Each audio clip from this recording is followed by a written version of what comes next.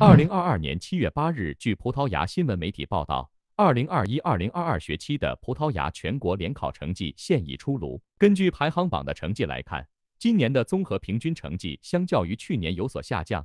去年曾有三家学校的综合平均成绩高于十七分，然后今年最高仅仅是十六点一零分。连续六年斩获榜首的玫瑰圣母学院，在今年也仅排在第四名。而榜首则是被新恩科斯塔学院与第二名埃法诺学院以零点三分的差距拉开距离。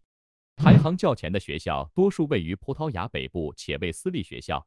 排名最高的公立学校安东尼奥阿罗约艺术学校，则是以十三点五八的综合平均分排在了第三十一名。据卢萨社的数据显示，共有四十一所学校的综合平均分低于及格线，其中三十八家为公立学校。